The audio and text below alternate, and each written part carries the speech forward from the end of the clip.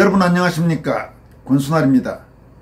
국회 국방위원회 소속 국민의힘 의원들이 문재인 정권 시절의 사드 즉 고고도 미사일 방어체계 정상화 지원 의혹과 관련해서 문재인 전 대통령과 이해찬 전 더불어민주당 대표 등에 대한 관계 당국의 철저한 조사를 촉구했습니다. 이들은 특히 이번 사드 정상화 의혹을 안보 주권을 중국에 사실상 헌납한 전대미문의 국기문란이자 안보농단이라고 규정했습니다.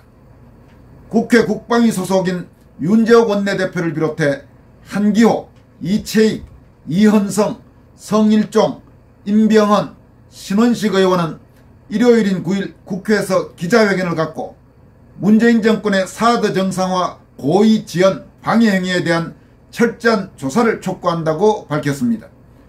이들은 환경영향평가가 어려운 작업도 아니고 오랜 기간을 필요로 하는 작업도 아니었는데 누군가 커다란 힘을 가진 권력자가 환경영향평가를 지연시키도록 압력을 넣어설 개연성이 농후하다고 주장했습니다. 국민의힘 의원들은 이른바 3불 1한에 대한 실체적 진실규명을 위한 엄정한 조사도 요구했습니다. 3불 1한이란 사드 추가 배치, 미국 미사일 방어 즉 MD 시스템 참여, 한미일 군사동맹을 하지 않는 3불에 더해서 현재 배치된 사드의 운영을 제한하는 1한을 문재인 정권이 중국에 선서했다는 것으로 중국 정부가 지난해 공개해서 파장이 일었던 문제입니다. 여기에 1한의 한이란 아, 제한한다고 할때그 한을 의미합니다. 국민의힘 의원들은 무엇보다도 이해찬 전 대표에 대한 조사가 시급하다면서 문 정권의 사드 회방은 모두 이해찬 전 대표의 방중 이후 본격화됐다고 밝혔습니다. 이해찬 전 더불어민주당 대표가 2017년 5월 문재인 당시 대통령 특사 자격으로 중국을 방문한 직후 청와대발 사드 추가 배치 보고 누락 의혹이 불거졌고 사드 배치를 위한 소규모 환경 영향 평가를 절차가 복잡한 일반 환경 영향평가로 변경한 데 이어 정부가 3부를 최초로 공개했다는 것입니다. 2017년 5월이라고 하면 문재인이 대통령에 당선된 바로 그 직후입니다. 그러니까 문재인 정권이 출범하자마자 제일 먼저 한 일 중에 하나가 중국에 대한 굴종적인 외교였다는 것입니다. 문재인 정권은 도대체 중국에 어떤 약점이 잡혔길래 출범하자마자 이런 짓을 했던 것일까요? 이와 관련해서는 지금 여러 가지 의혹들이 제기되고 있습니다. 심지어 일각에서는 어, 문재인 정권의 출범 과정에서 뭔가 중국에 영향이 있지 않았겠느냐 그런 이야기들도 적지 않은 것이 현실입니다. 국회 국방위 소속 국민의힘 의원들은 사드 정상화 지연 의혹과 관련해 이를 안보 주권을 중국에 사실상 헌납한 전대미문의 국기 문란이자 안보 농단이라고 규정하면서 당시 생산 보고된 문서에 대한 관계 당국의 철저한 조사를 촉구한다. 만약 사드 관련해 각종 문서가 파기됐다면 그 경위가 무엇인지 그 지시자가 누구인지 등 문재인 정권의 지위고하를 막론한 성력 없는 조사가 기묘하다고 요구했습니다. 그렇습니다. 지금 이 문제는 결코 대량 넘어가서는 안 되는 문제입니다. 지금 윤석열 정권이 출범한 이후에 문재인 정권 시절 벌어진 각종 불법 탈법 의혹에 대한 조사 또는 수사가 이루어지고는 있습니다만 웬일인지 그 수사나 조사는 결코 문재인까지 가지 못하고 있습니다. 말이 안 되는 이야기죠. 문재인 정권은 지금까지 대한민국의 어떤 정권보다도 나라를 망국의 구렁텅이로 몰아넣은 정권이라는 비판을 받고 있습니다. 그렇다면 문재인 정권 시절 저질러졌던 각종 불법 탈법 행위 특히 대한민국의 정체성이라든지 대한민국의 안보를 위협하는 문제와 관련해서는 그 누구를 막론하고 철저하게 조사하고 수사해서 만약 그 과정에 문재인이 직접 개입됐다면 당연히 문재인에 대한 사법 처리가 이루어져야 할 겁니다. 이해찬에 대해서는 더 말할 필요도 없죠. 이해찬 정도의 인간이 뭐라고 이해찬이 만약 불법 탈법 혐의가 있다면 그거를 봐줘야 될 이유가 있겠습니까? 철저한 수사를 요구하는 바입니다. 이어서 살펴볼 소식도 이해찬과 관련된 소식입니다. 국민의힘은 윤석열 대통령이 부인인 김건희 여사 일가에 특혜를 주기 위해 서울 양평간 고속도로 노선을 변경했다고 주장한 이해찬 전 더불어민주당 대표 등을 최근 경찰에 고발했습니다. 원영섭 국민의힘 미디어 법률단장은 서울 영등포 경찰서를 찾아서 이해찬 전 대표 등을 허위사실 유포에 따른 명예훼손, 즉 정보통신망 이용 촉진 및 정보보호 등에 관한 법률 위반 혐의로 고발하는 고발장을 접수했습니다. 또 이해찬의 발언 내용을 콘텐츠로 제작해 게시한 유튜브 채널 이재명은 합니다 운영자도 함께 고발했습니다. 원영섭 단장은 고발장을 경찰에 접수한 후 기자들과 만나서 이해찬 전 대표의 발언은 단순히 윤 대통령에 대한 허위사실 유포에 따른 명예훼손을 넘어서 국정 전반에 대한 허위사실 유포와 명예훼손이라면서 관련 지역 주민들과 일선 공무원들도 실질적인 피해자들이라고 말했습니다. 그는 또 이해찬 전 대표는 응당 반드시 그 책임을 지셔야 할 것이라고 말했습니다.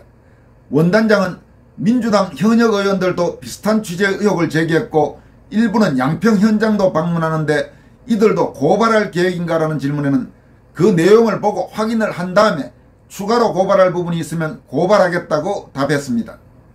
국민의힘 미디어 법률단은 출입기자단 언론 공지를 통해 이해찬 전 대표 등에 대한 고발을 예고하면서 윤 대통령 처가는 땅 투기를 한 사실 자체가 없다고 강조한 바가 있습니다.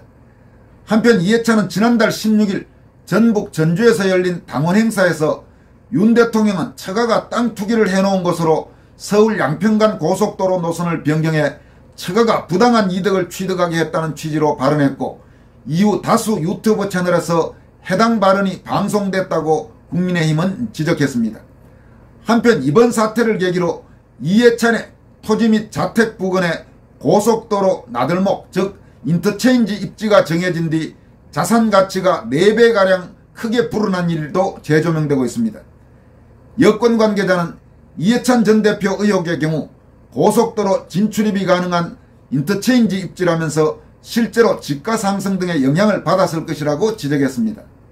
앞서 서울 세종 간 고속도로 사업에서 애초 포함되지 않았던 연기 인터체인지 입지가 2019년 세종시 전동면 석곡리로 확정된 가운데 이해찬이 이곳에서 5km가량 떨어진 전동면 미공리에 배우자 명의의 주택과 토지를 보유한 사실이 알려져서 논란이 된 바가 있습니다. 농지가 대지로 바뀌면서 개별 공시지가는 이해찬 일가가 매입한 이듬해인 2013년 평방미터당 2만 1,400원에서 2020년 기준 8만 6천원으로 4배까지 치솟았다는 사실이 보도가 돼서 상당한 파문이 인 바가 있습니다. 한편 서울 양평간 고속도로 논란과 관련해서 전진선 양평군수는 9일 서울 여의도 민주당사 앞에서 서울 양평고속도로 건설 백지화와 관련해 기자회견을 갖고 양평에 IC가 설치되는 서울 양평고속도로 건설을 가로막는 민주당의 모든 은행 중지를 요청한다면서 12만 5천 명의 양평 군민은 IC가 있는 서울 양평고속도로를 희망한다고 천명했습니다. 이날 기자회견에는 김선교 국민의힘 양평 여주 당협위원장을 비롯해서 도의원, 군의원 등 30여 명이 함께했습니다. 전진선 양평 군수는 지난 2021년 4월 정부의 예비타당성 조사를 통과한 서울 양평고속도로 건설하는 양평군에 IC가 없는 고속도로였다면서 양평군은 우리 군에 IC가 설치되는 고속도로를 설치해달라고 정부의 문을 더 두드렸다고 말했습니다.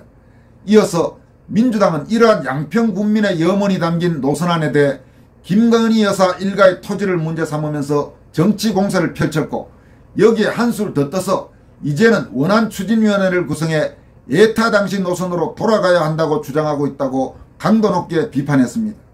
전 군수는 양평고속도로가 놓일 남한강과 주변 지역 주민의 희망사항도 모르는 사람들이 서울 양평고속도로에 대해 왈가왈부할 일이 아니다라고 강조했습니다. 이어서 예타 당시 노선은 IC가 없는 아니고 지역 주민도 반대하고 있는데 대체 누구를 위한 원안 추진이냐면서 진정으로 양평 군민이 원하는 양평 군민을 위한 양평 군민에 의한 안을 민주당에서는 경청해달라고 요구했습니다. 이와 함께 민주당 이재명 대표는 지역 정서도 모르고 국정을 혼란에 빠뜨린 양평지역 민주당 당협위원장과 민주당 소속 전임 군수를 문책하고 현직 군수인 저와 이 문제를 논의해달라고 말했습니다. 전 군수는 이어진 질의응답에서 야당 일각에서 제기하는 김여사 일가 특혜 의혹에 대해서는 전혀 사실과 다른 말이라면서 김여사 일가가 보유한 그쪽 지역으로 분기점이 지나가더라도 전혀 땅값하고는 관계가 없다고 말했습니다.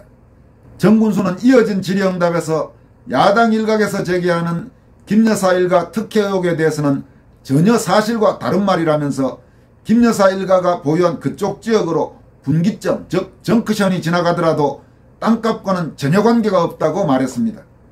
정군수는 또 사업백제화가 철회되지 않는다는 것은 생각할 수 없다면서 철회를 위한 민주당의 정책 변화가 있어야 하고 정부에도 지속해서 사업 재개를 요청하겠다고 덧붙였습니다. 이날 기자회견에는 국민의힘 소속인 윤순옥 양평군 의회 의장과 지역 주민 대표 등 약 30명이 참석했습니다. 이들은 비가 내리는 날씨에도 우비를 입고 서서 양평군민 원하는 대로 고속도로 설치하라. IC 없는 고속도로 반대한다. 강화 IC 설치하라 등의 구호를 외쳤습니다. 이번 서울 양평 고속도로와 관련된 민주당의 공세는 또 하나의 선동공세, 사실과 다른 선동공세일 가능성이 대단히 높아 보입니다. 그리고 결국 그 끈으로 민주당이 얻을 것은 그렇게 많지 않아 보입니다.